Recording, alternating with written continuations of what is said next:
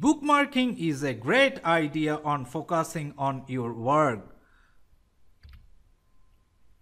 In order to save your time, you can bookmark all the necessary sites that you visit frequently for work. There may be few sites you refer, your work website, some other informative pages and so on. You can bookmark the sites and properly organize those sites. This helps you to kickstart your work smoothly. This also ensures that you don't have to search for the sites. It's easily and simply accessible when you need it.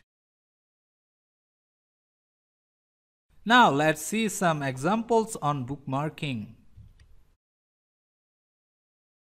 Here I am on the Google Chrome and as you can see here it is the bookmark option and you can see the Gmail is bookmarked Upwork is bookmarked and Google Drive is bookmarked and you can see Skillshare is bookmarked here and you can make it as a folder too. It's imported from Internet Explorer.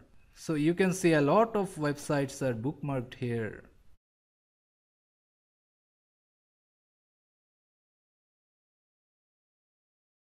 And the bookmarks is also seen here. The gmail upwork messages google drive transcription udemy course skillshare courses and imported from iFolder if you click the folder uh, the list is shown within that folder within that specific folder as you can see here.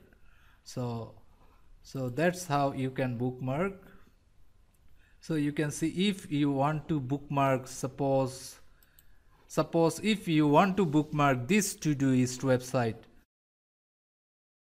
as we are using Google Chrome you just go there bookmark this page as you can see bookmark this page and do you want a folder or just bookmarks bar? Uh, let's take it to the bookmarks bar and done so let's see. Here is the Todoist you can see. As there are a lot of bookmarks in this Google Chrome you can see by going there and here is the Todoist we just added as a bookmark. I hope you can see this Todoist. So that's how you can bookmark your website and pages which you think is useful and and you can easily access your websites as you open your browser.